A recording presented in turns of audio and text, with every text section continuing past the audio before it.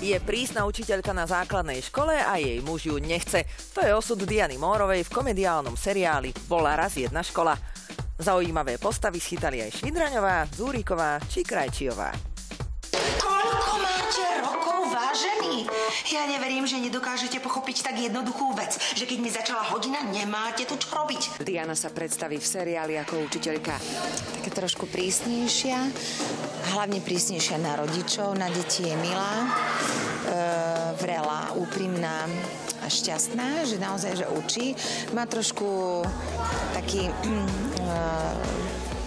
komplikovanejší vzťah v tom súkromí, asi ju ten muž nechce, dož vie prečo. Mamičku, ktorá rada intriguje, dokonale stvárni Barbara Švitraňová. Ja hrám mamičku Barbaru, ktorá je z takej trojice e, tých asi najnegatívnejších postav tam, ale v podstate žiadna postava tam nie je nejak negatívna, len v tom uh, takom nejakom konkrétnejšom sme tie trošku intrigánky, ktoré tak držia spolu s Vicou Kerekeš vlastne a s Gabikou Duričkou, takže takto tam držíme v takom napätí. Po dlhšom čase uvidíme opäť na obrazovkách aj Gabiku Durikovú. Tak v prvom rade je mojou úlohou byť matkou malej Luizy. takže mm, každý z nás, čo tu hráme, každá matka alebo každá učiteľka má samozrejme svoj vlastný charakter, takže opäť sme tak rozdelení, že ja som tá prísnejšia, nekompromisnejšia a taká tvrdšia, tak sa zase si to tak užívam.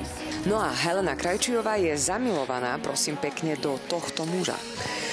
Ja hrám Gretu a to je taká žena, ktorá mala na škole deti, ale tie deti už odišli zo školy, akože už sú veľké a ja som zostala, som sa tak akože votrela do toho kolektívu tých učiteľov a zostala som na tej škole pracovať, lebo som zamilovaná do riaditeľa školy. Erika Barkolová, televízia